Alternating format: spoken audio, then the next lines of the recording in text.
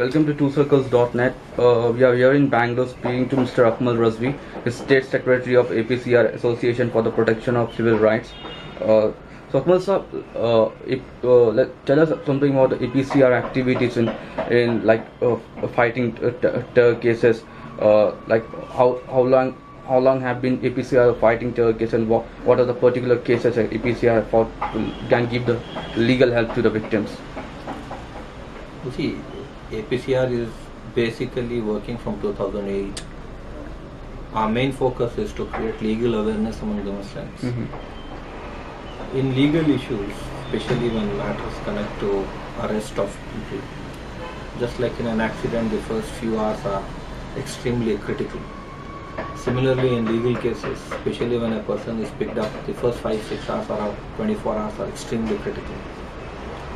The law of the land is that a person after he is arrested, the police officer arresting the person should inform the person who is related to the person who is arrested of why he is being arrested and where he is being taken. Unfortunately, uh, police normally doesn't follow this rule, and therefore uh, they get an opportunity of planting evidence if immediate action is not taken. So APCR basically uh, teaches people these legal rights and ensures that they inform the appropriate authority uh, as soon as a person is picked up to avoid the eventuality of uh, uh, evidence being uh, framed and uh, planted. Okay. So any any particular uh, like the terror cases which you have been provided legal help to the victims? Oh, you see, uh, just because a journalist was involved, Mr. Mutiur Rahman Siddiqui of the Deccan Herald, Mm-hmm. that became uh, uh, very well reported in the media. Mhm. But uh, APCR has been following on these uh, legal cases much before this.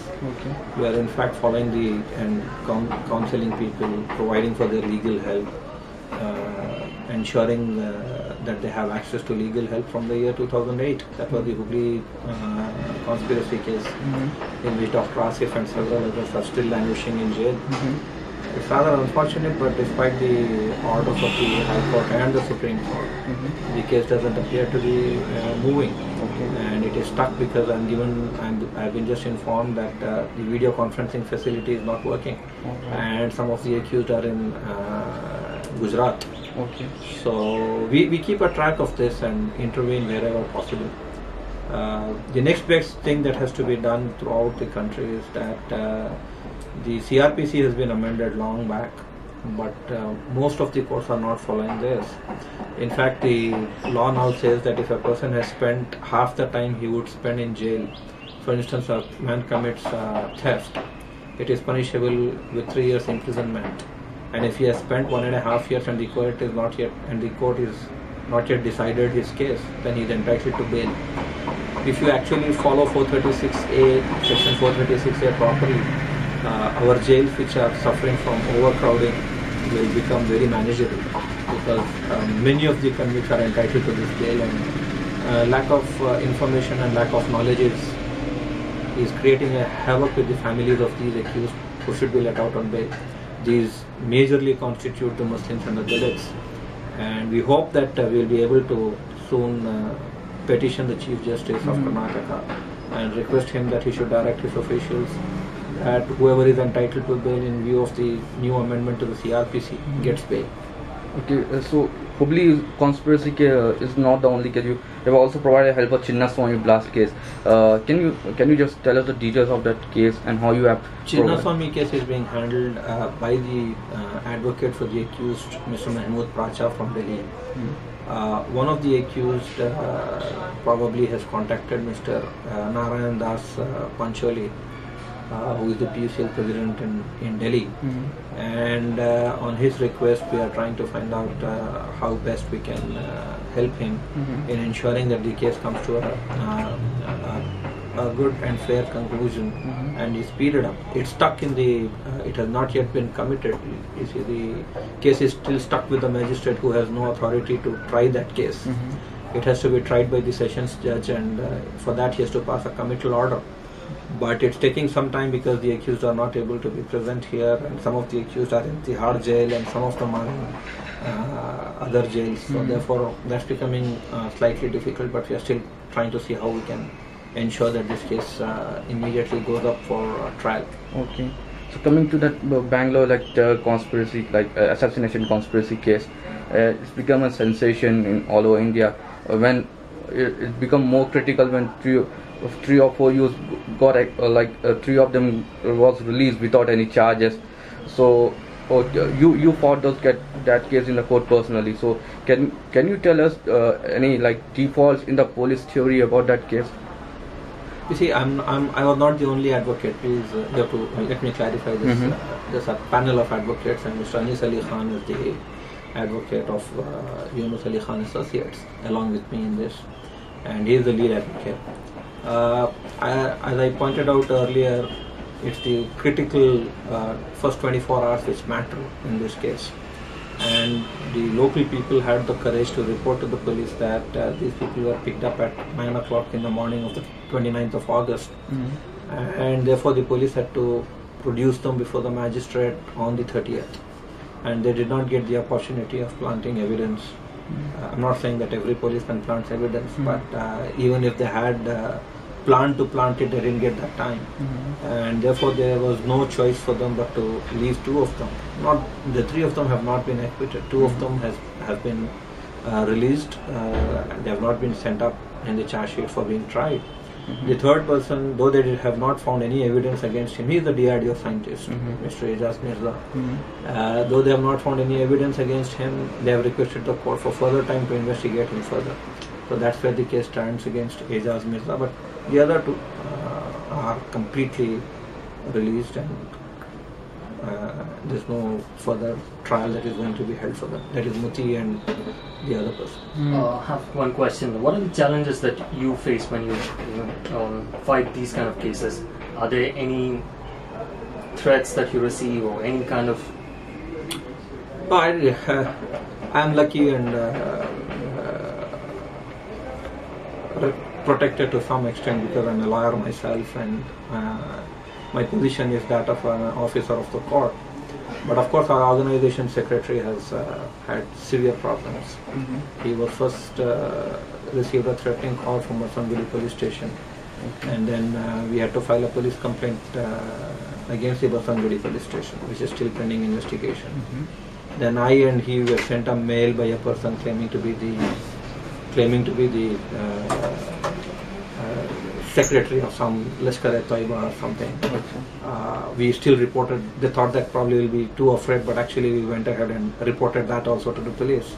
So these kind of things continue, but I don't think one should be cowed down by this, and one should have the guts to face them. And uh, there should be a lot of praise for the APCR volunteers who are not advocates and who work on this uh, field uh, unafraid and with guts.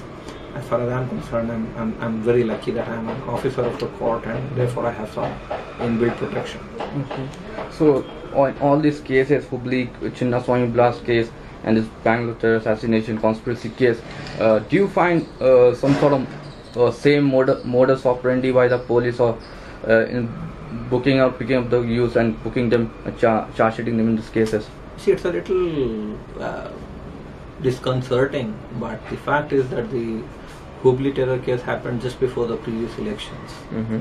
And uh, when Yediyurappa, uh, the former chief minister of Karnataka, uh, was had become a great dissenter, it is at that time that this new Bangalore terror case, so-called Bangalore terror case, was foisted. Mm-hmm. So one gets a feeling, though I don't have anything to prove, that there's has some connection to the electoral things and polarization of votes.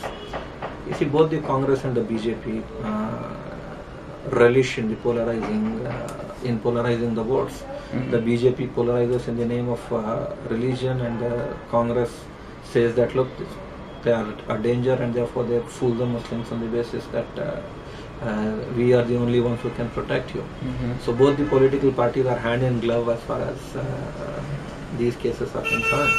Uh, I am also extremely critical of uh, uh, the fundamentalism that has uh, crept in into the NGOs working for the Muslims. Mm-hmm. Uh, they seem to uh, ignore the fact that as much as the Muslims are uh, hunted down, uh, equally the Dalits and the Maoists are also, and many innocent people are in jail.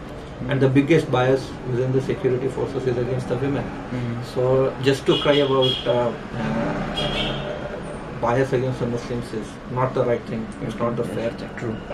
All right.